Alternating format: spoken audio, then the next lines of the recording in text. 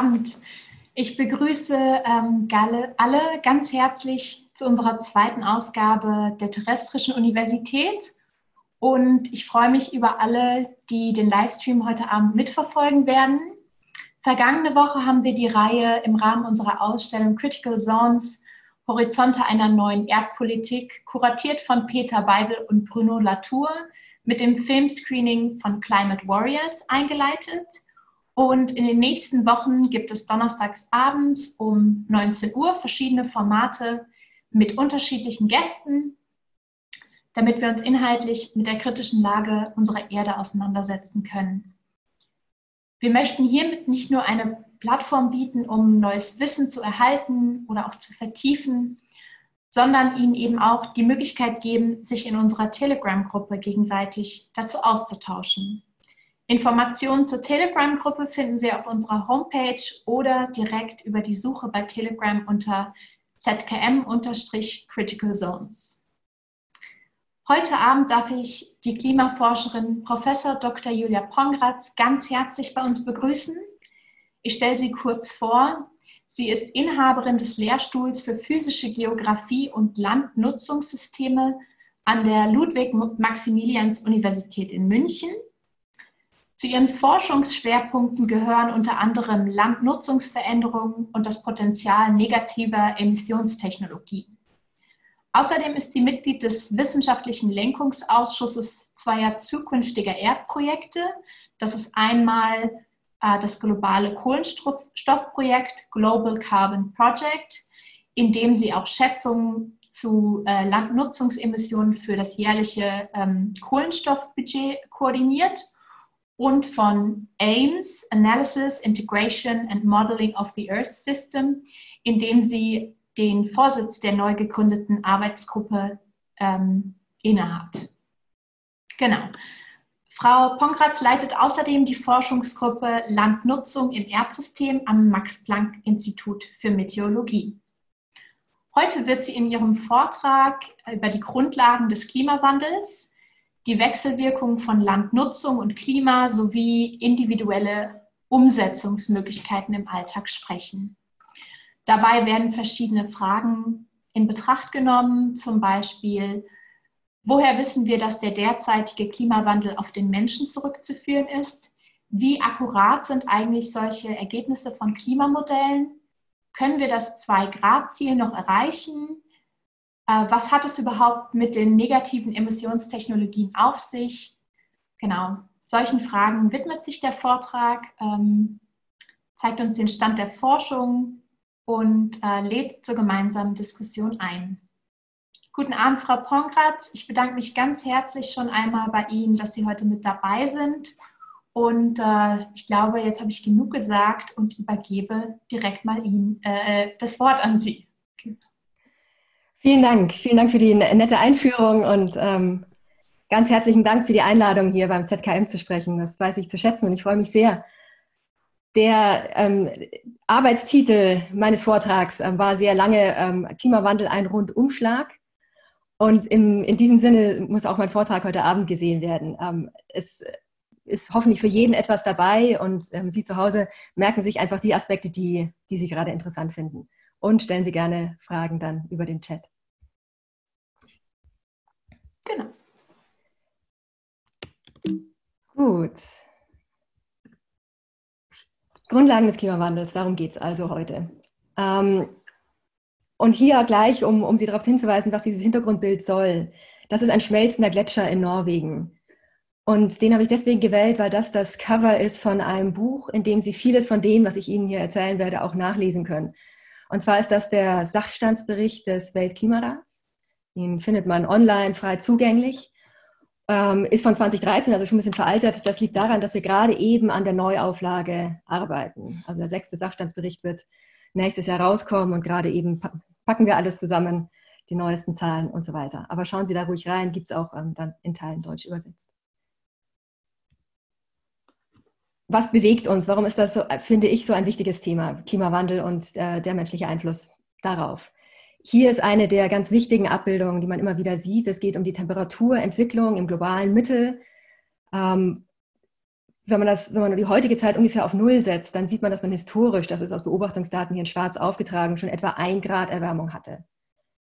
Und dann gibt es hier viele, verschiedene Zukunftsszenarien, die sind so unterschiedlich, weil niemand weiß, wie sich die Bevölkerung entwickelt, wie, welchen Lebensstandard wir verfolgen werden, ob wir jetzt global zusammenwachsen oder nicht. Also ganz viele verschiedene Szenarien. Ähm, und Sie sehen, dass die bei Temperaturen rauskommen gegenüber heute noch vier Grad mehr vielleicht oder vielleicht auch nur noch ein Grad mehr. Also ganz große Unterschiede. Was wollen wir denn als Weltgemeinschaft? Das hatten wir 2015 festgelegt in Paris. Mit dem Paris-Abkommen haben wir gesagt, wir wollen zwei Grad, besser noch ein 1,5 Grad Ziel. Und das bedeutet, wir sind ähm, hier, ne, weil wir ein Grad historisch schon realisiert haben, bleibt uns nur noch ein halbes Grad oder ein Grad ähm, bis Ende des Jahrhunderts. Und auf welcher Trajektorie befinden wir uns derzeit mit unseren derzeitigen Anstrengungen? Hier. Also irgendwie zweieinhalb, drei Grad mehr, wenn wir so weitermachen, wie wir uns derzeit verpflichtet haben, unsere Anstrengungen durchzuführen. Und wir wollen jetzt verstehen, wie, wie kommt es dazu, dass wir auf dieser oberen Trajektorie sind? Können wir auf die untere Trajektorie kommen? Aber um das alles zu verstehen, müssen wir uns erstmal mit den Grundlagen des Klimasystems beschäftigen. Und da, ähm, wie gesagt, so ein bisschen das, das Best-of von dem, was man eigentlich in, in einem ganzen Studium ähm, darlegen müsste. Einmal ganz wichtig ist natürlich die Zusammensetzung der Atmosphäre, wenn man das Klima verstehen will. Da sind wir jetzt wirklich genau in dieser Critical Zone, in der es ja hier in der Ausstellung auch geht, um diese wenigen Kilometer zwischen Erdoberfläche und ähm, der, dem freien Weltraum. Und hier sehen Sie die Zusammensetzung der Atmosphäre, viel Stickstoff, ähm, viel Sauerstoff. Äh, Tim Lentner hat ja auch schon darauf hingewiesen, das ist eindeutig das Zeichen von Leben, dass man so viel Sauerstoff hier hat. Und dann sieht man noch Argon, aber man sieht nicht die Treibhausgase. Weil diese Treibhausgase, das ist Wasserdampf, CO2, Methan, Lachgas, alle mit unglaublich kleinen Prozentteilen nur in der Atmosphäre sind. Das sind alles nur Spurengase sozusagen. Also man kann sagen, die sind klein, ist wenig nur vorhanden, aber oho. Ähm, weil dank dieser Treibhausgase in der Atmosphäre wir ähm, kuschelige 15 Grad im Mittel haben, statt minus 18 Grad ohne diese Treibhausgase.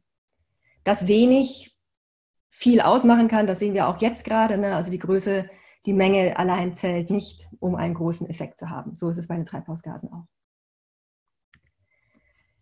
Was machen jetzt diese Treibhausgase? Erstmal, wie sieht diese ganze Energiebilanz aus? Ähm, die Energie der Erde kommt ja ganz überwiegend von der Sonne. Geothermie ist auch dabei, aber das können wir hier vernachlässigen. Also schauen wir uns einmal nach oben um zur Sonne. Was für Energie kommt da runter? Und hier sehen wir die Einstrahlung der Sonne über die Wellenlänge aufgetragen. Wellenlänge in Mikrometer, also sehr, sehr klein. Ich habe Ihnen hier den Regenbogen reingemalt. Ähm, das ist also der Bereich von sichtbarem Licht hier, sehr kurzwellig da emittiert die Sonne ähm, sehr viel. Und es ist natürlich kein Zufall, dass unsere Augen gerade da sensitiv sind, wo viel Sonnenlicht da ist. Weil das ist natürlich clever von der Evolution eingerichtet. Da ist viel Strahlung da, da sehen wir dann viel. Ähm, jetzt gibt es ein Gesetz, das ähm, wurde von den Herren Stefan und Boltzmann ähm, gefunden. Das besagt, dass die Ausstrahlung proportional zur Temperatur des Körpers ist. Und zwar zur Temperatur des Körpers hoch 4. Das heißt, ein Körper, der ein bisschen wärmer ist, wird sehr viel mal mehr ausstrahlen oder ein Körper, der ein bisschen kühler ist, wird sehr viel weniger ausstrahlen mit der vierten Potenz eben. Und wenn man sich dieses Spektrum jetzt anschaut, man weiß auch, ähm, dass ähm, die Temperatur abhängt davon, wo am meisten emittiert wird, dann kann man sich die Temperatur von der Sonne ableiten. Die ist etwa 5.500 ähm, Grad warm. So, jetzt schauen wir mal auf die Erde runter. Die interessiert uns ja eigentlich. Ähm, wie strahlt die Erde aus? Wenn wir jetzt runterschauen, das ist zunächst langweilig, weil was wir jetzt hier sehen, ist ja einfach nur gestreute oder reflektierte Solarstrahlung. Also müssen die Sonne ausschalten, dann sehen wir aber erstmal nichts. Was wir jetzt machen müssen, ist, wir müssen eine Thermalkamera bemühen. Das sind diese Dinger, mit denen man beispielsweise Häuser anschaut, um zu sehen, ob die gut isoliert sind oder wo die ganze Wärme ähm, verloren geht. Wenn wir damit auf die Erde runterschauen, dann sehen wir so ein Spektrum. Ganz anders als das der Sonne. Also man sieht schon, wir sind in ganz anderen Wellenlängenbereichen hier und natürlich ist das Maximum auch gar nicht so hoch. Und daraus kann man sich berechnen, dass die ähm, Atmosphäre außen, dass das ungefähr minus 18 Grad ist. Wie kommt man dahin? Die Sonne treibt alles. Ähm, dass die Erde überhaupt dann ähm, nicht eiskalt ist, wie das Weltall das eigentlich vorsehen würde, das kommt, weil wir eben sehr viel Solarstrahlung absorbieren. Das meiste an der Erdoberfläche, ein bisschen auch in der Atmosphäre, das meiste aber an der Erdoberfläche. Und das ist jetzt aber noch nicht die ganze Geschichte. Und zwar diese minus 18 Grad, ich hatte es ja vorher schon angedeutet, das ist nicht das, was wir auf der Erdoberfläche vorfinden heute. Weil es kommt hier noch ein wichtiger Aspekt rein und das ist der der Treibhausgase. Nur mal exemplarisch ist jetzt CO2 ähm, eingezeichnet. CO2 absorbiert. Das heißt, wenn die Erde sich bemüht, hier ihre Strahlung wieder loszuwerden und die ins Weltall wieder rauszuschicken, dann kommt das CO2 in den Weg und hat zum Beispiel hier so eine CO2-Absorptionsbande. Also genau da, wo die Erde sehr viel von ihrer Thermalstrahlung wieder loswerden wollen würde. Also dieses CO2 in der Atmosphäre ähm, absorbiert diese Thermalstrahlung, schickt sie dann raus, aber natürlich in, ins Weltall, aber auch wieder zurück zur Erdoberfläche.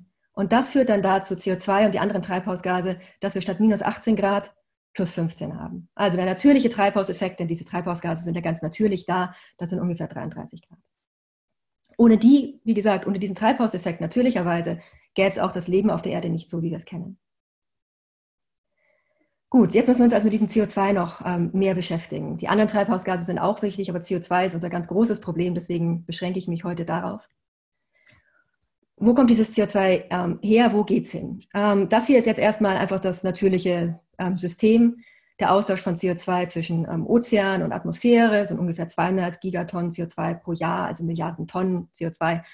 Uns kommt es nur auf relative Zahlen an. Ähm, die, die Vegetation auf dem Land tauscht mehr als doppelt so viel mit der Atmosphäre auf, ähm, aus. Das ist natürlich Photosynthese, aber dann auch, wenn das ganze Pflanzenmaterial wieder von uns aufgegessen wird oder veratmet wird durch Mikroben und alles Mögliche. Also riesige Austauschflüsse. Aber die sind natürlicherweise mehr oder weniger im Gleichgewicht. Das Problem ist jetzt, dass der Mensch reinkommt. Einmal emittieren wir jede Menge aus ähm, der Verbrennung fossiler Industrie, äh, fossiler Energieträger und aus Industrie, so Aushärten von Stahl, entlässt CO2 in die Atmosphäre. Ähm, also das ist ähm, der große Faktor. 35 ähm, Milliarden Tonnen CO2 pro Jahr emittieren wir hieraus. Das ist klein im Vergleich zu den natürlichen Flüssen, aber es ist eben jedes Jahr und es bringt das System aus dem Gleichgewicht. Und die zweite Quelle ähm, sind die Landnutzungsemissionen, also vor allem Entwaldung. In den letzten Jahrzehnten vor allem tropische Entwaldung, aber im Mittelalter war es natürlich ähm, ganz viel Entwaldung in Europa und dann später in Nordamerika. Ähm, und bis in den 50er Jahre hinein waren die Emissionen aus Entwaldung auch deutlich größer noch als die ähm, aus der Verbrennung fossiler Energieträger. Und das muss irgendwo hin diese Zusatzemissionen. Und die ähm, gehen in die Atmosphäre und verbleiben da zur Hälfte. Und das ist eben unser ganz großes Problem. Das ist das, was jetzt diesen natürlichen Klima, diesen natürlichen Treibhauseffekt nochmal obendrauf mit einem menschgemachten Treibhauseffekt versieht. Aber es ist auch unser großes Glück, was Sie hier sehen, weil es ist ja nur die Hälfte der Emissionen, die wir in der Atmosphäre finden. Wo geht die andere Hälfte hin? Da retten uns der Ozean und noch stärker die Vegetation auf den Kontinenten. Warum? Ähm, der Ozean, der löst einfach CO2 chemisch und dann mit den Ozeanströmungen kann es in die Tiefe abtransportiert werden. Und auf der Landseite ist es ganz interessant, wenn Sie so einen Wald haben, man denkt, im Gleichgewicht nimmt, nimmt der nicht mehr ähm, CO2 auf, aber das stimmt nicht. Ähm, derzeit werden die Wälder dichter, weil CO2 in der Atmosphäre das Pflanzenwachstum ankurbelt. Und das wird dann auch transferiert. Man hat dann auch mehr ähm, Kohlenstoff im Boden gebunden. Und das nimmt derzeit eben ein Viertel bis ein Drittel der Emissionen jedes Jahr wieder auf. Also eine enorme Dienstleistung von Land und Ozean, dass die Hälfte unserer Emissionen gleich wieder versenkt werden. Sonst wäre der Klimawandel doppelt so stark, wie wir es beobachten. Und hier auch noch wichtig, CO2 ist deswegen so ähm, ungut in der Atmosphäre zu haben, weil es nicht chemisch abgebaut wird. Das ist anders für Lachgas oder Methan, das kommt relativ schnell wieder aus der Atmosphäre raus, CO2 nicht. Das müssen Sie ähm, das, das sind Zeitskalen von Jahrmillionen, bis sie CO2 wieder vollständig aus der Atmosphäre entfernt haben. Gut, noch ein ganz wichtiges, ähm, eine wichtige Grundlage im Klimasystem ist das der Wechselwirkung oder Rückkopplung oder Feedbacks. Ähm, ein Feedback ist grundsätzlich, ähm, kommt aus den Ingenieurswissenschaften, einfach, wenn das, was in einen Prozess wie das Klimasystem hineingeht und was irgendwie eine, eine, eine Antwort erzeugt, ein Output erzeugt, dass dieser Output wieder zurückwirkt auf den Input wir machen das einfach anschaulich. Ähm, ah ja, und dann gibt es einen Verstärkungsfaktor, der dann definiert, ob es ein positiver oder ein negativer Feedback ist. Beispiel, dann verstehen wir das besser. Grundlegend im Klimasystem, wenn wir ähm, die Sonne anschalten, die Erde erwärmen, dann steigt die Temperatur initial. Was passiert? Wir hatten ja vorher das Stefan-Boltzmann-Gesetz gesehen. Das heißt, die Ausstrahlung nimmt zu, weil die Temperatur hochgeht und T hoch 4 proportional zur Ausstrahlung ist. Und das führt ja dann dazu, dass wir wieder jede Menge Energie verlieren, weil wir ausstrahlen. Und damit wird der Temperaturanstieg, dieser Initiale, gedämpft. Und das heißt, hier haben wir ein Feedback, weil sich das eben zurückwirkt. Und der ist, weil eine initiale Temperaturerhöhung nachher gedämpft wird, negativ. Anderes Beispiel, Klimawandel. Ähm, wir haben einen Anstieg von Treibhausgasen, der erwärmt das Klimasystem. Was passiert jetzt? Wärmere Luft kann mehr Wasserdampf halten. Das ist einfach ein physikalisches Gesetz. Und Wasserdampf ist ein Treibhausgas. Das bedeutet, die Erde erwärmt sich noch mehr. Und das wäre jetzt eben ein klassisches Beispiel für einen positiven Feedback, der sich also noch selber verstärkt. Eine initiale Erwärmung führt zu noch mehr Erwärmung. Und das ist deswegen so wichtig, ähm, weil man damit ähm, einem ganz typischen Argument von Klimaskeptikern entgegentreten kann. Denn die sagen oft, ähm, Wasserdampf ist das stärkere Treibhausgas. Es ist gar nicht CO2 aus der Industrie und Fossilen. Es ist der Wasserdampf, der eigentlich Klimawandel treibt. Und da sind wir Menschen nicht dran schuld. Und das ist halb richtig, aber eben nur halb. Wenn man ähm, zerlegt, wie die, ein Temperaturanstieg, den man jetzt erzeugt durch ähm, Erhöhung von CO2, ähm, auf was der dann am Ende wirklich zurückzuführen ist, dann sieht man, dass das CO2 einen relativ geringen Anteil hat. Was einen größeren Anteil hat, ist ähm, Wasserdampf. Auch noch Wolken. Also irgendwie schaut es ja aus so, als wenn ich jetzt initial mein CO2 erhöhe, erhöht das die Temperatur. Und das zeigt uns dieser Block hier. Aber Änderungen in den Wolken erhöhen dann die Temperatur noch weiter und Wasserdampf erhöht die Temperatur dann auch noch weiter, und zwar doppelt so stark. Und das ist genau so richtig. Das CO2 erwärmt die Atmosphäre, dadurch kann sie mehr Wasserdampf halten und weil Wasserdampf eben auch ein Treibhausgas ist, erwärmt sich das ganze System nochmal. Und in diesem Fall ist wirklich Wasserdampf stärker als das CO2. Aber wo haben die Klimaskeptiker eben nicht recht? Naja, äh, man muss unterscheiden zwischen was der Antrieb ist und was dann nur ein, ein Feedback, eine Rückkopplung ist. Und der Antrieb war ja das CO2 aus menschgemachten Emissionen. Und der Wasserdampf verstärkt dann nur diesen initialen Antrieb, der auf den Menschen zurückzuführen ist. Und ohne diese solche positiven Feedbacks wäre eben auch die Klimaantwort bei weitem nicht so stark, ähm, wie wir sie jetzt hätten.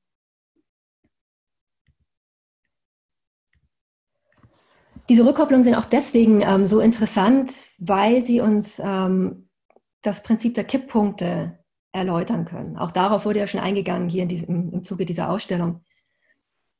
Da geht es darum, ähm, in Bezug auf, auf viele verschiedene Variablen, wo sich das Erdsystem befindet und wo es sich vielleicht befinden kann und ob es dort bleibt oder noch weiter sich entwickelt.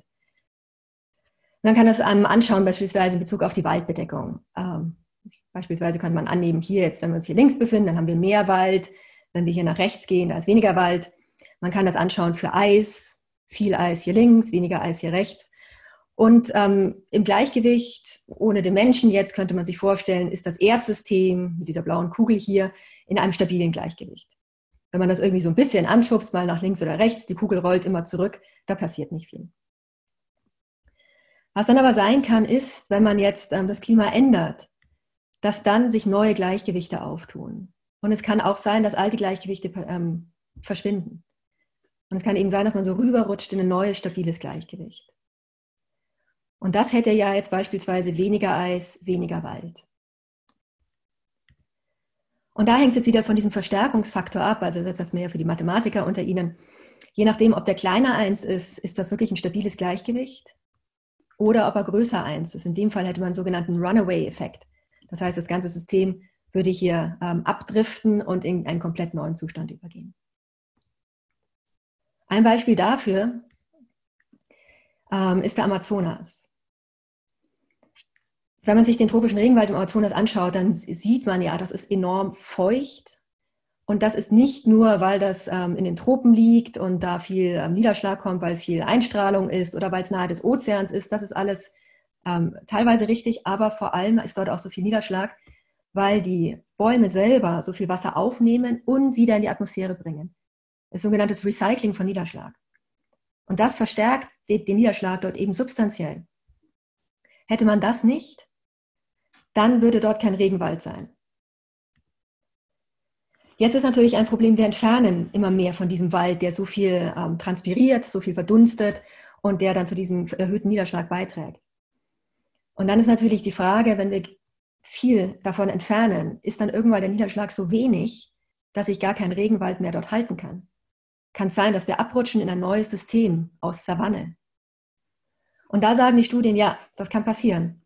So etwa bei 20 bis 30 Prozent Entwaldung könnte das sein, dass das, der Niederschlag dann nicht mehr genügt, weil die Bäume eben nicht mehr genug Wasser in die Atmosphäre bringen, um den restlichen Regenwald aufrechtzuerhalten und das ganze System driftet ab in einen neuen Zustand. Wo sind wir derzeit mit der Entwaldung? Ungefähr bei 17 Prozent. Das heißt, wir sind sehr, sehr nahe dran an diesen potenziellen Kipppunkten und wir werden wahrscheinlich sehr bald wissen, ob diese Studien mit den 20 Prozent richtig sind oder die mit den 30. Und solche Kipppunkte gibt es ganz viele im Erdsystem. Aus Zeitgründen jetzt hier nur eins, das uns eben in, meiner Forschung auch sehr nahe liegt. Gut, das waren jetzt schon die Grundlagen des Klimasystems. Wie gesagt, da kann man natürlich noch ähm, deutlich mehr zu sagen, als ich hier gemacht habe. Aber ich möchte mit, mit Ihnen auch gerne noch ähm, über die Emissionen wirklich sprechen und das Paris-Abkommen. CO2-Emissionen, wo kommen die denn wirklich her? Ähm, da kann man regional unterscheiden. Hier sehen Sie jetzt die Emissionen seit 1960 aus ähm, Verbrennung fossiler Energieträger und ähm, Industrie.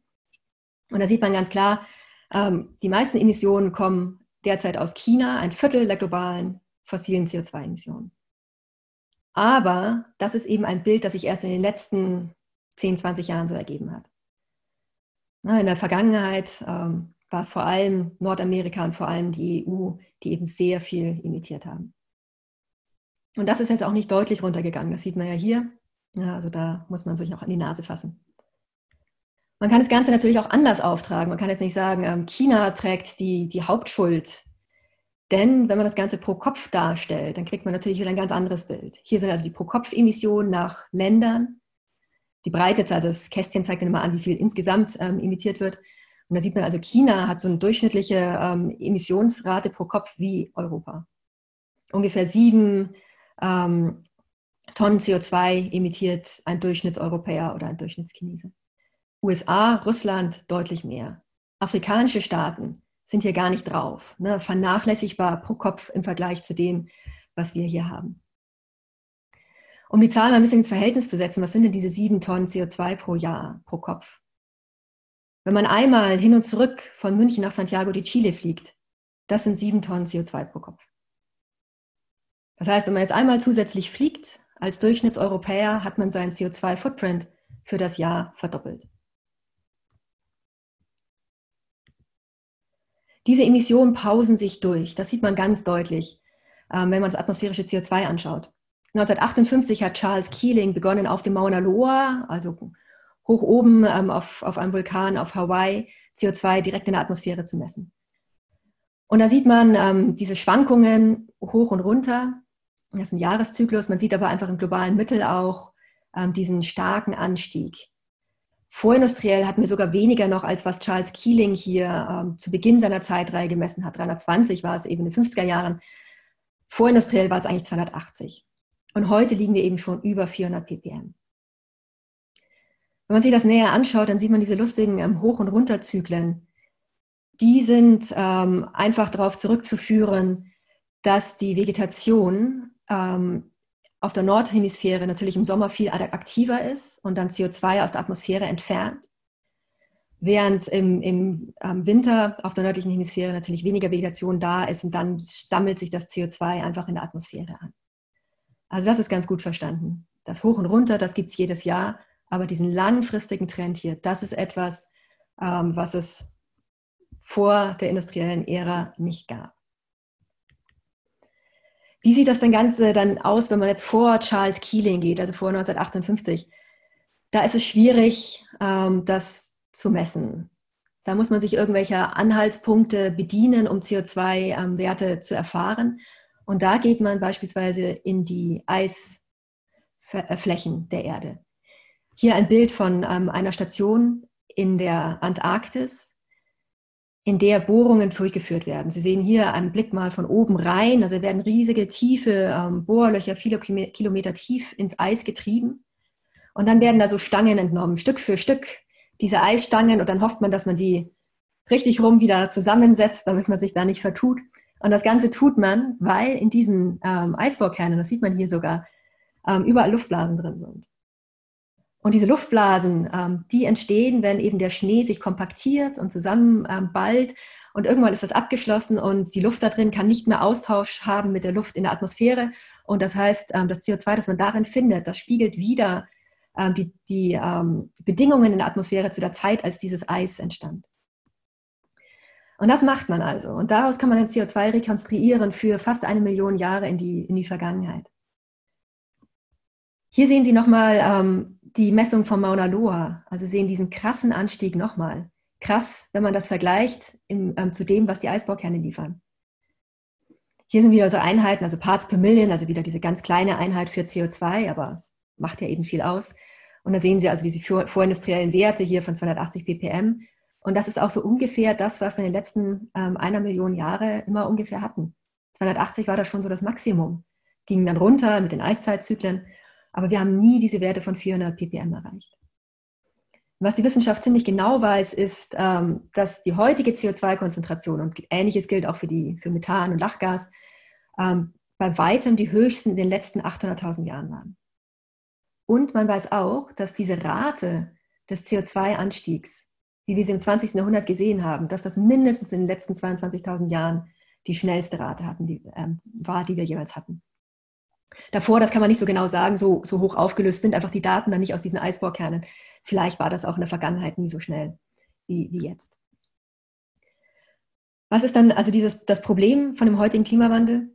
Also es ist einmal natürlich, dass wir hier einen Zustand haben, der viel ähm, höher ist bezüglich des CO2 und damit viel wärmer, als wir das eben in der Vergangenheit hatten. Aber ein Riesenproblem ist auch einfach dieser schnelle Anstieg. Also wir haben Geschwindigkeiten, äh, mit denen einfach die, die ähm, Flora und Fauna nicht gut zurechtkommt, vor allem aber nicht der Mensch. Und das ist eben auch anders im Vergleich zu, wenn wir eine Million Jahre zurückgehen. Heute sind acht Millionen, Milliarden Menschen auf dem Planeten, in teils vulnerablen Gebieten. Und das ist das eigentliche Problem dieses ganzen Klimawandels. Das Leben auf der Erde wird weiter existieren, aber eben nicht unsere derzeitigen Lebensbedingungen wenn wir so weitermachen.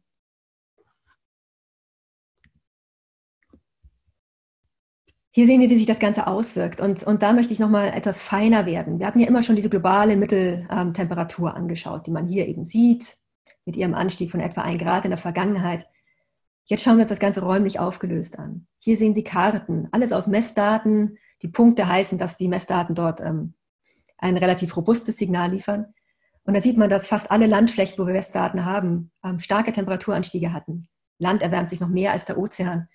Und da sieht man, dass dieses eine Grad, von dem wir jetzt immer gesprochen haben, was wir als historische Erwärmung sehen, regional locker zwei oder drei Grad sein kann. Tendenziell ist es so, dass Regionen hin zu den Polen sich stärker erwärmen und gerade hier in Deutschland, da sind wir eher polständig im Vergleich zum, zum Äquator.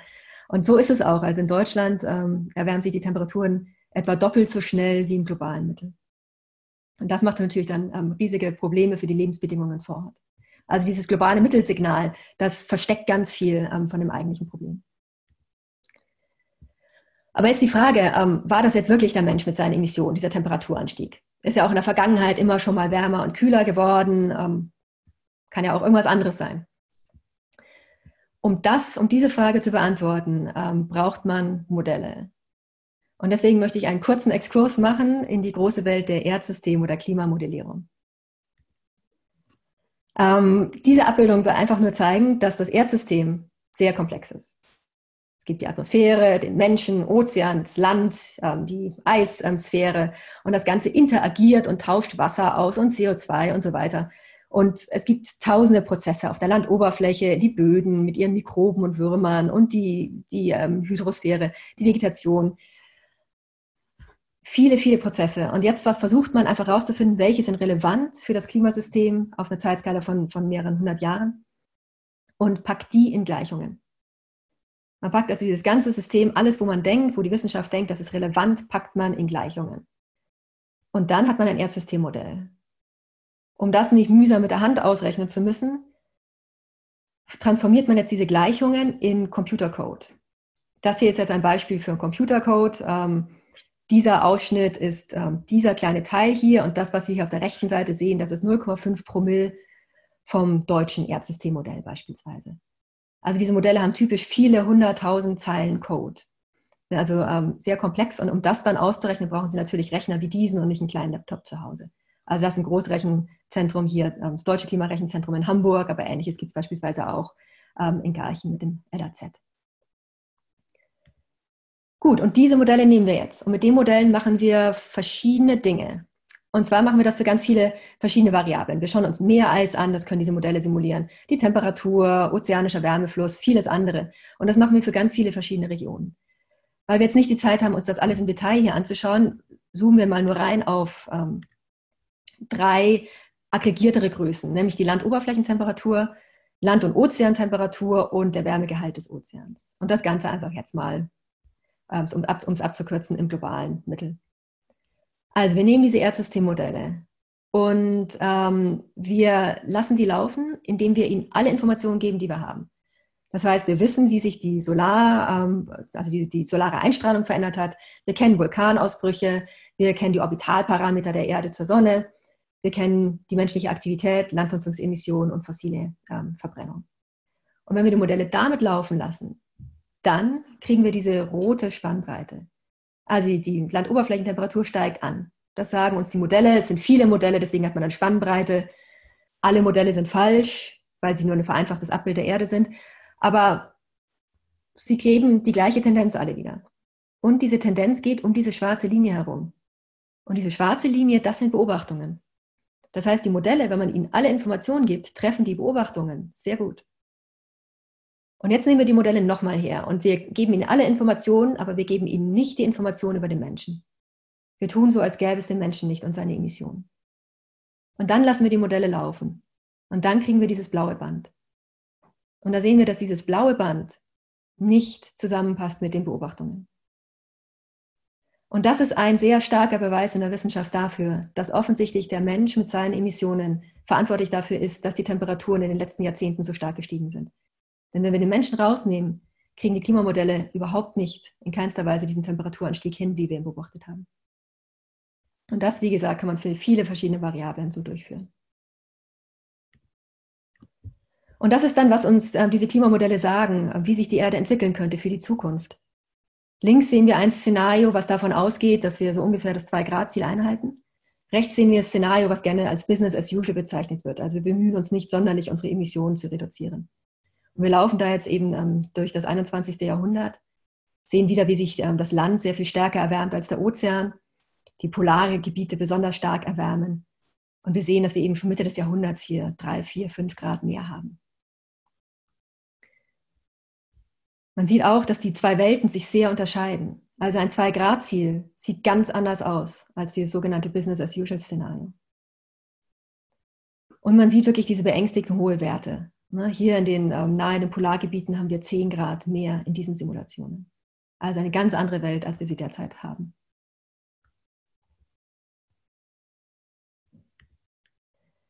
Das war schon der erste Einblick in die Zukunft. Aber mich interessiert jetzt die Zukunft in Bezug auf, wie kommen wir von dieser rechten Kugel zur linken? Wie kommen wir dahin, dass die Emissionen wirklich ähm, reduziert werden? Wie es das, das Paris-Abkommen ja möchte. Das Paris-Abkommen wollte also ähm, 1,5 Grad oder 2 Grad, also 0,5 oder 1 Grad mehr gegenüber heute zur Abwehr gefährlichen Klimawandels. Das ähm, wenn man die ganze Wissenschaft zusammen aggregiert, kommt man dahin, dass wahrscheinlich viele von diesen Kipppunkten ähm, erreicht werden können bei zwei Grad, ähm, dass insgesamt die Lebensbedingungen ähm, sich so ähm, drastisch verschlechtern, die ökonomischen und, und ähm, Menschenschäden so groß werden, dass das eben alles als gefährlich gelabelt werden kann. Das möchte man nicht. Und um dahin zu kommen, muss man Folgendes machen. Unsere heutigen Emissionen aus Entwaldung, aus fossilen Emissionen, die müssen wir stark reduzieren. Diese Nettoemissionen, wie ich sie hier nenne, müssen wir bis Mitte des Jahrhunderts negativ kriegen. Auf Null und danach negativ. Und das machen wir natürlich, indem wir so, so stark wie möglich unser ähm, ganzes äh, Wirtschaftssystem dekarbonisieren, indem wir den Bedarf überhaupt nach Energie runterschrauben, Umstieg auf Erneuerbare und so weiter. Aber es wird nicht reichen. Ähm, Langstreckenflüge sind schwer zu elektrifizieren. Aus der Landwirtschaft wird, werden immer Treibhausgasemissionen kommen. Es reicht nicht ganz. Ähm, dann fällt uns auf, naja, wenn wir in der Historie so viel entwaldet haben und so viel CO2 emittiert haben, naja, können wir vielleicht einfach aufforsten und das CO2 wieder aufnehmen. Machen wir das, merken wir aber auch, das ähm, macht das Kraut nicht fett. Aufforstung ähm, reduziert das ein bisschen, aber wir brauchen noch mehr. Und dieses mehr, was uns da beispielsweise einfällt, sind Dinge wie Bioenergy with Carbon Capture and Storage. Oder auch andere Dinge. Aufforstung hatten wir schon, diese Biomasseplantagen, die wir dann hernehmen, damit die Biomasse verbrannt wird statt ähm, Kohle, Öl und Gas. Wir denken, dass wir mehr Bodenkohlenstoff anreichern können, wenn wir ähm, die Felder anders bewirtschaften. Vielleicht kann man Biokohle in die Felder ausbringen und damit CO2 speichern. Vielleicht kann man ähm, Verwitterung beschleunigen, weil Verwitterung speichert auch CO2, indem wir Gesteinsmaterial, also indem wir Berge abtragen, das Material fein reiben und dann auf die Felder ausbringen und dann nimmt das CO2 aus der Atmosphäre auf. Oder wir bedienen uns wirklich dieser rein technologischen Möglichkeiten, wo wir CO2 aktiv chemisch aus der Atmosphäre filtern. Das sind alles Dinge, die vorgeschlagen werden. Und wenn man das dann macht, dann kommt man in den meisten ähm, von diesen Zukunftsszenarien sozioökonomischer Art äh, Mitte des Jahrhunderts auf negative Emissionen. Und das ist eben das, Mitte des Jahrhunderts negative Emissionen, null und danach negativ. Das ist das, was das Paris-Abkommen mit dem 1,5 Grad Ziel erfordert. Ähm, wie kommen wir dahin? Wie viel dürfen wir denn noch imitieren, ähm, um, dieses, um konsistent zu sein mit diesem Paris-Abkommen? Das ähm, kann man sich ja offensichtlich berechnen, denn sonst wüsste man ja nicht, dass man bis 2050 die Emissionen quasi aufgebraucht hat und danach nicht mehr imitieren kann. Und das weiß man aus dieser Abbildung, die auch, auch ganz im Kern von dem ganzen ähm, Klimawandel-Diskurs ist. Hier sehen wir aufgetragen die Temperaturanomalie ähm, gegenüber den, den ähm, vorindustriellen Levels, also der Temperaturanstieg, gegenüber den Emissionen seit Beginn der Industrialisierung. Und das Ganze ist erstaunlich linear. Und das bedeutet ja, dass man für jeden Temperaturwert ablesen kann, wie viel Emissionen man insgesamt emittieren darf. Immer seit Beginn der Industrialisierung, so ist diese Abbildung gedacht. Und da sieht man, dass man für das 1,5 Grad Ziel, man kann hier rübergehen auf die Kurve, hier runtergehen, ähm, ungefähr bei 2200 ähm, Milliarden Tonnen CO2 rauskommt. Problem ist, wir haben ja schon eine ganze Menge emittiert. Wir sind ja schon hier heute, 2020. Und das bedeutet, dass man insgesamt nur noch ungefähr 400 Gigatonnen CO2 übrig hat zu emittieren. Und ähm, kriegen wir das hin? Wie viel ist denn das? Ähm, 400 Gigatonnen CO2. Ich weiß nicht, ob Sie noch an die Zahlen erinnern, ganz am Anfang zum Kohlenstoffkreislauf. Das sind ungefähr zehn Jahre der heutigen Emissionen. Also wir müssen uns da sehr anstrengen und diese heutigen Emissionen eben sehr stark und sehr schnell runterbringen, wenn wir wirklich ein 1,5 Grad Ziel oder dann auch ein 2 Grad Ziel, das sieht nicht so viel anders aus, erreichen wollen.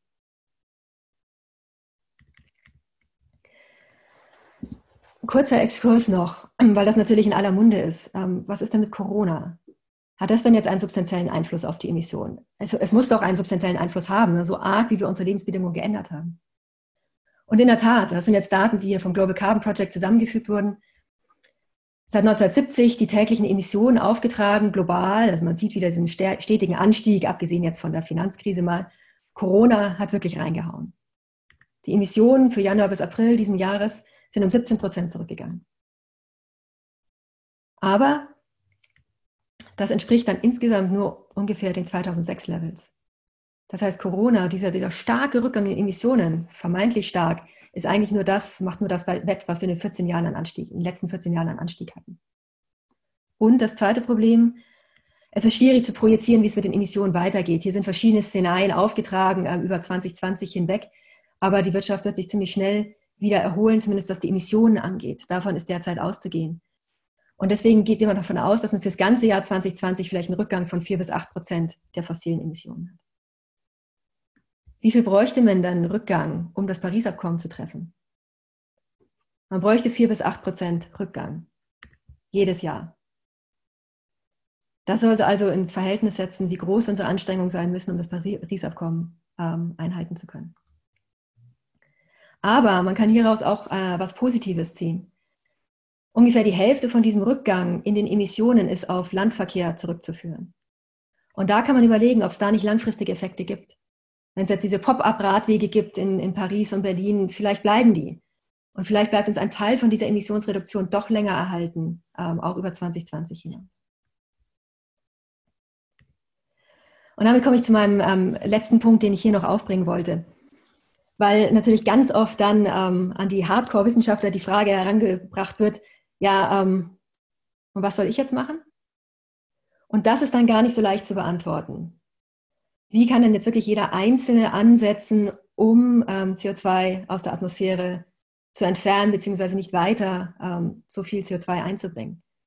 Natürlich ist es ähm, das politische System, das Wirtschaftssystem, was da ganz stark ähm, den, ähm, die, die Stellschrauben in der Hand hat. Aber es sind eben auch die Konsumenten am Ende und jeder Einzelne. Aus denen, aus unseren einzelnen Emissionen setzt sich ja zusammen dann, was die Atmosphäre insgesamt sieht. Und da gab es vor, vor um, zwei Jahren eine recht aufschlussreiche Studie, die viel zitiert wurde ähm, oder viel diskutiert und auch sehr umstritten war, in der, auch in den Medien. Ähm, sie hat aber versucht, ähm, wirklich einheitlich zu, zusammenzubringen, wie verschiedene Maßnahmen, die ich im eigenen Leben umsetzen kann, zu meinem CO2-Footprint beitragen kann. Und da sieht man dann Maßnahmen, die viel bringen. So umstritten war die Studie, weil ähm, sie zeigte, dass der größte Einfluss der ist, ein Kind weniger zu haben. Und das möchte ich jetzt hier gar nicht weiter diskutieren, weil das methodisch ein bisschen schwach war in der Studie und eben auch ähm, hier einfach zu weit führt. Aber schauen wir uns mal die anderen ähm, Punkte an. Was offensichtlich viel bringt, für, das ist jetzt auch für, für einen Durchschnittseuropäer oder Nordamerikaner gemacht, ähm, ohne Auto zu leben. Einmal weniger pro Jahr transatlantisch zu fliegen grüne Energie zu kaufen, elektrisches Auto zu haben oder ähm, pflanzenbasierte Diät, pflanzenbasierte Ernährung. Und das ist ganz, ähm, wirklich ganz interessant. Ähm, also einmal muss ich Ihnen noch sagen, ne, diese, diese äh, ähm, Zahlen hier ist eben, wie gesagt, nur so im Durchschnitt ähm, berechnet. Wenn Sie das genau haben wollen, dann gehen Sie zu CO2-Rechnern, zum Beispiel vom WWF oder Bundesumweltamt, da können Sie es für sich selber genau ausrechnen. Und dann diese Ernährung hier, das ist, finde ich, ganz spannend.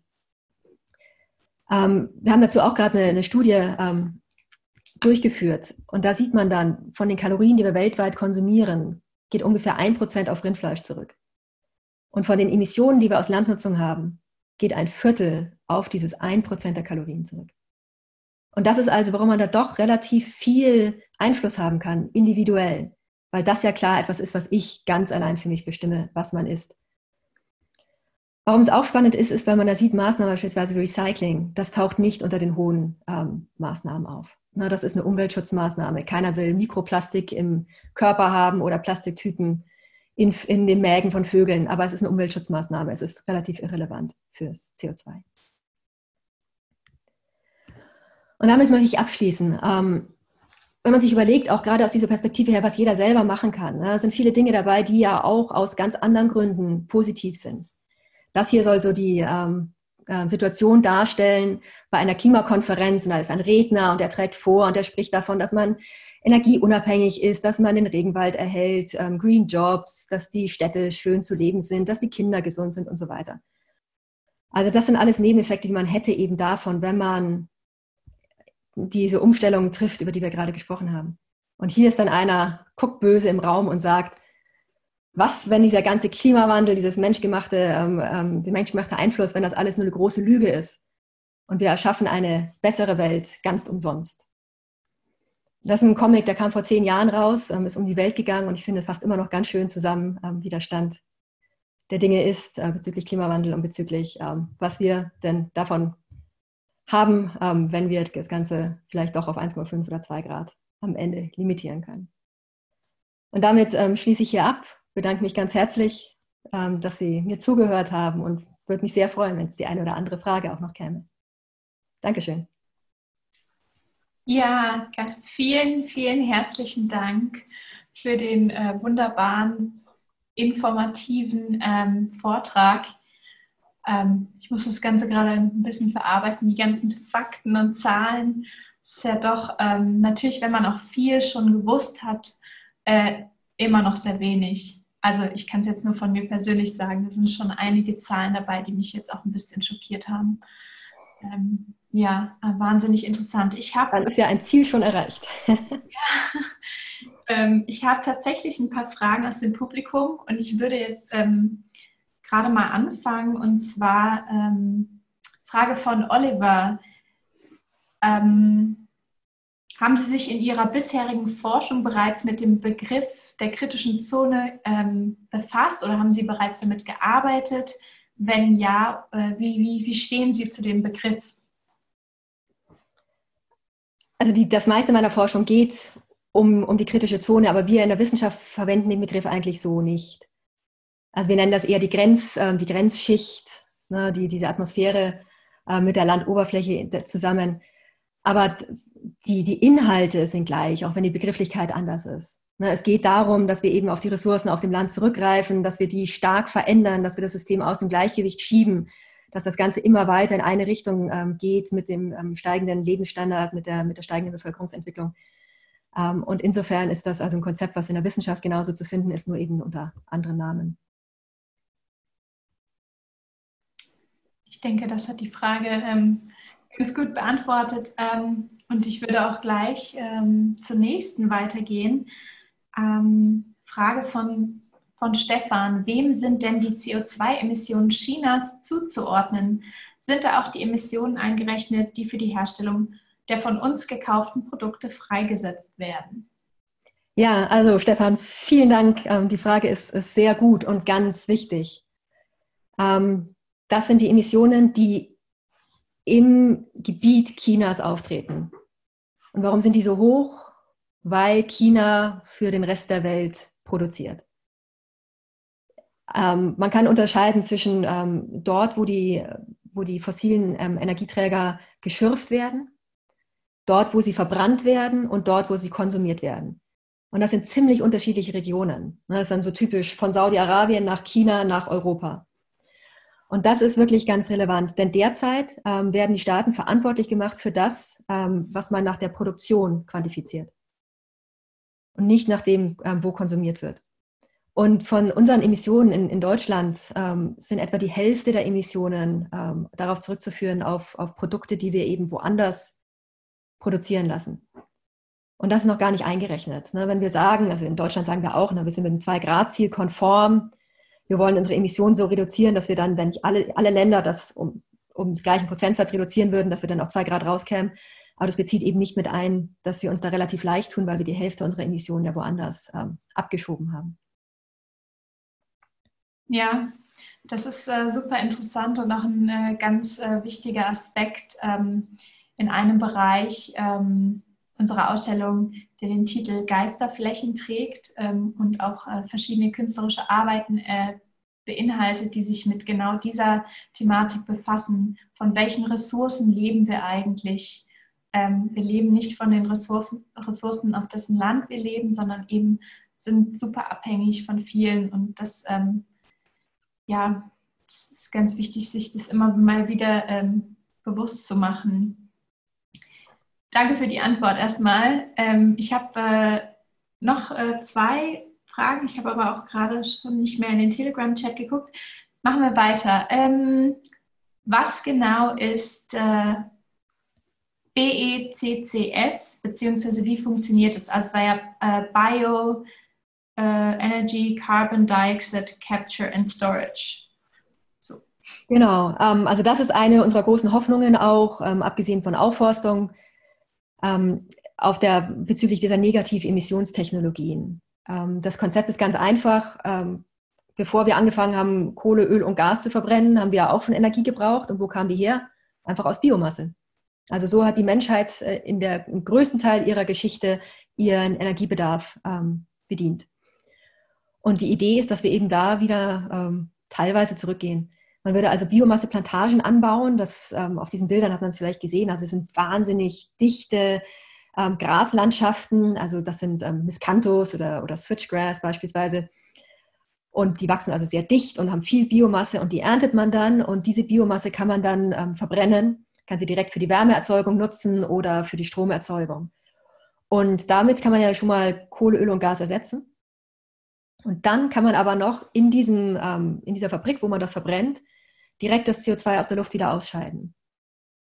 Also abscheiden und dann irgendwo hinpacken.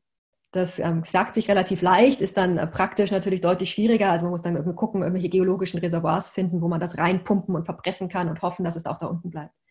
Aber dann hätte man ja wirklich einmal ähm, die fossilen Emissionen runtergebracht, weil man sie ersetzt hat durch Biomasse. Und äh, man hätte wirklich aktiv CO2 aus der Atmosphäre entzogen, weil man das CO2 zwar, man hat es verbrannt und genutzt, äh, die Energie, aber man hat das CO2 nachher wirklich weggespeichert langfristig. Sozusagen eine Umkehr von der Bildung von Kohle, Öl und Gas, indem man das CO2 auch wieder in die tiefen Schichten zurückspeichert. Das ist die Idee dahinter. ähm, ob man das hochskalieren will. Manche Szenarien gehen davon aus, wenn wir ähm, nicht gewillt sind, unseren Energiebedarf runterzufahren, sondern wenn wir sagen, wir bleiben bei dem starken Energiebedarf, den wir haben und wir dekarbonisieren unser, ähm, unser Wirtschaftssystem einfach stattdessen, dann haben, sagen die Szenarien, dass man deutlich mehr Atomenergie braucht und beispielsweise auch drei Millionen Quadratkilometer Biomasseplantagen. Das ist ungefähr ein Fünftel von dem, was wir derzeit an Ackerland haben. Wahnsinn. Vielen Dank dafür. Ähm, wir haben noch ein paar Fragen, deswegen mache ich gleich weiter. Ähm, die nächste Frage kam von Stefan, beziehungsweise zweite Frage von Stefan. Ist durch das Schmelzen der Permafrostböden der Klimawandel nicht schon am Weglaufen? Wieder eine gute Frage, vielen Dank. Ähm, also was man sieht, also das ist auch so ein typisch, typischer Kipppunkt, diese ähm, Sache mit dem Permafrost. Weil wenn es dann eben auftaut, ähm, wird dort viel, viel ähm, organisches Material, was da im Boden gespeichert war, lange, weil es eben unter Eis ähm, von der Dekomposition ähm, abgeschottet war, das wird dann frei. Und das heißt, es tritt dann viel Methan und CO2 aus. Und weil das wieder Treibhausgase sind, hat man eine Rückkopplung, es wird wieder wärmer und das heißt, der Permafrost schmilzt noch schneller. Und ähm, da könnte man eben auch so eine Art Runaway-Effekt erzeugen oder so einen Kipppunkt erreichen, wie beim Amazonas auch. Und das ähm, findet man auch schon in einzelnen Punkten. Also in einzelnen Punkten sieht man das, weil auch lokal sich dann die Temperaturen im Boden erwärmen, wenn eben die Mikroben einmal anfangen, da zu zersetzen. Und da sieht man, dass das eben schon, ähm, schon stattfindet. Das ist wissenschaftlich ähm, eine ganz aktuelle Frage, ne, inwieweit wir jetzt schon ähm, praktisch die ganzen Permafrostgebiete auftauen oder wie weit das jetzt bringen, ähm, es, das verhindern kann, wenn wir eben wieder runtergehen mit der CO2-Konzentration.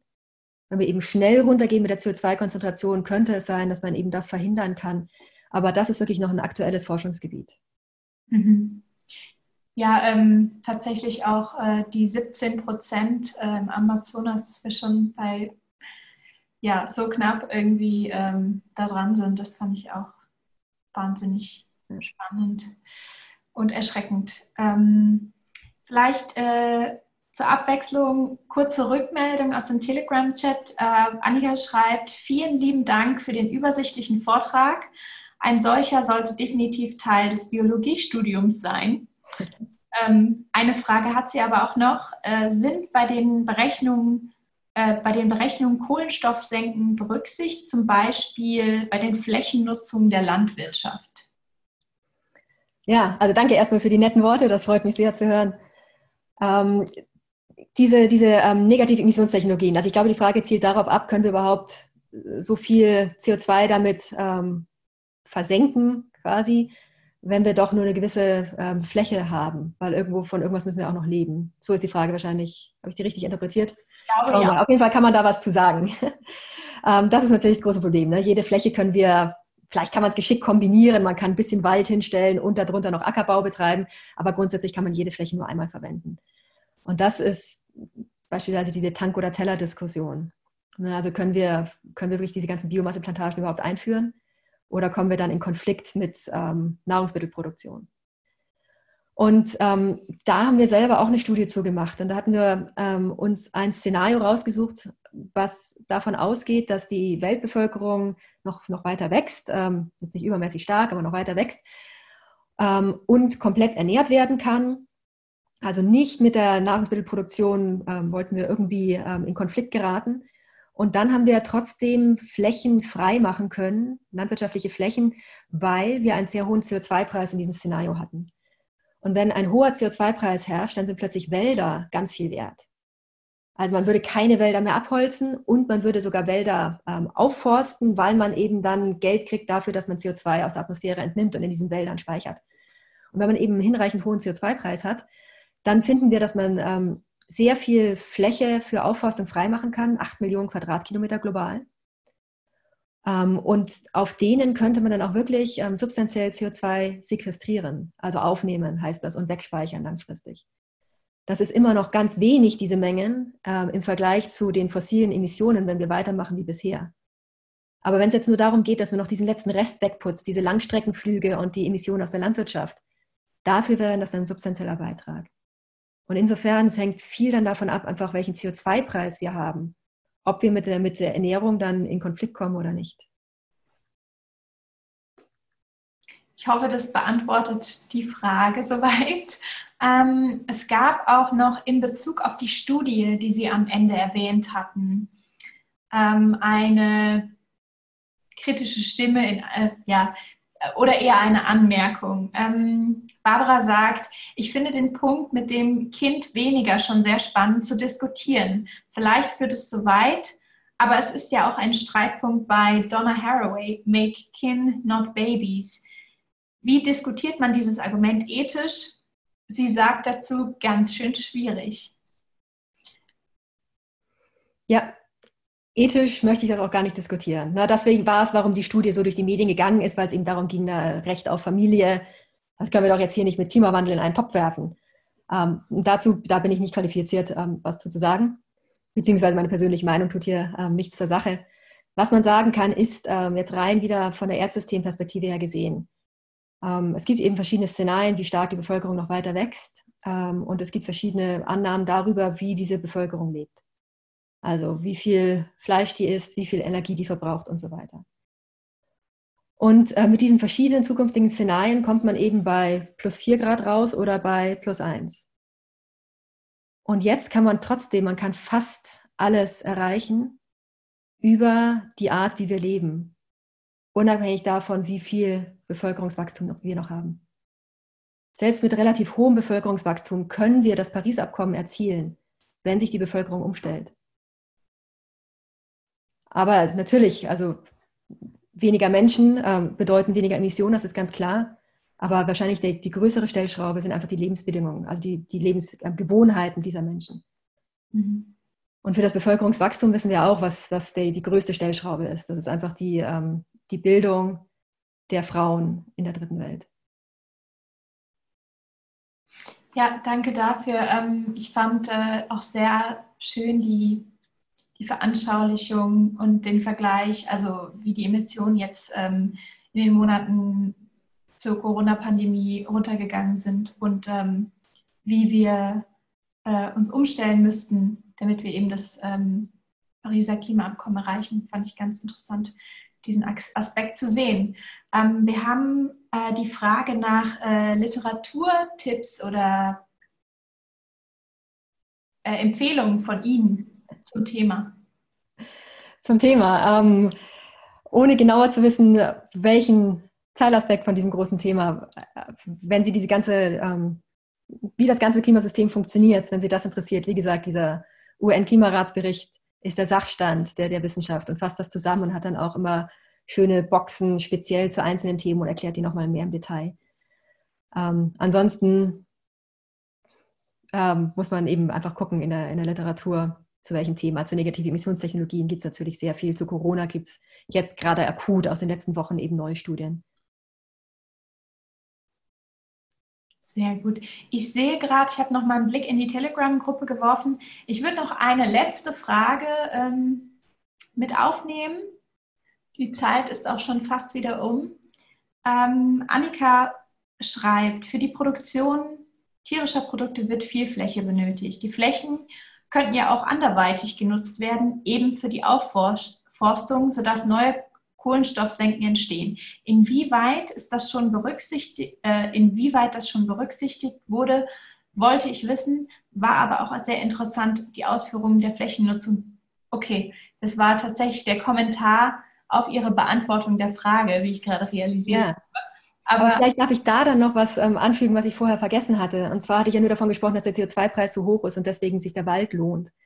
Aber der Punkt ist, ähm, dass wir einfach Flächen frei machen in der Landwirtschaft, weil wir eben investieren in die Landwirtschaft. Wir, versuchen dann eine nachhaltige Landwirtschaft dann zu etablieren und eine optimierte, also dann mit Düngemitteleinsatz, aber jetzt auch nicht so, dass das wieder langfristige Schäden hat. Und da kann man eben von diesem hohen CO2-Preis was in eine optimale Landwirtschaft überführen. Und so würde man Flächen frei kriegen. Also das ist der Clou, der, der dahinter liegt. Muss man natürlich eben, wie gesagt, ähm, bereit sein, den Preis zu zahlen. Und dann ist das mit eingerechnet. Also dieses Szenarien, man hat ja gesehen, ne, da gab es diese vier verschiedenen Farben, Riesenunterschiede und das hängt eben davon ab, vom Bevölkerungswachstum, vom ähm, ganzen Wirtschaftssystem, aber auch davon, wie sich die Menschen ernähren.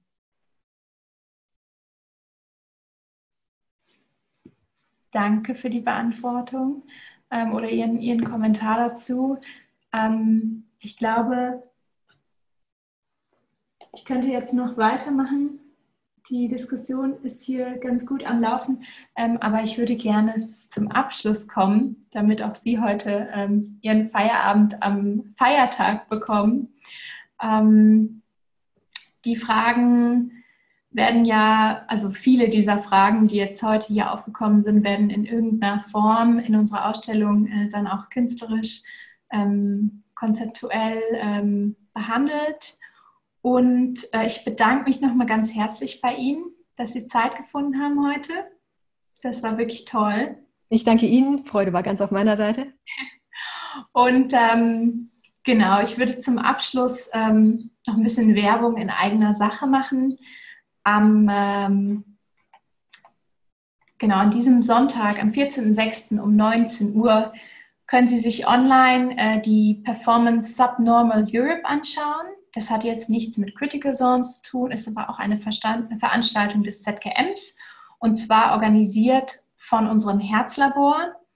Und dabei sind ähm, der Performer und Medienkünstler Oscar Escudero und Belenich Moreno Gil äh, bei uns zu Gast. Die haben nämlich für die Münchner Biennale 2020 eine Performance kreiert, geschaffen, die äh, audiovisuellen Fragmenten nachgeht und die Spuren europäischer Gemeinschaft ähm, versucht zu verfolgen. Also diese Uraufführung gemeinsam mit Noah Frenkel und Sebastian Schottke könnt ihr, können Sie am Sonntagabend auch über den Livestream mitverfolgen.